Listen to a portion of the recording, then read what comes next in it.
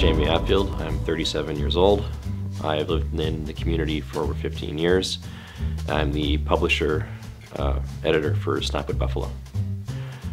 Well, I really love supporting the community and, and, and helping out its four key areas that make up the community.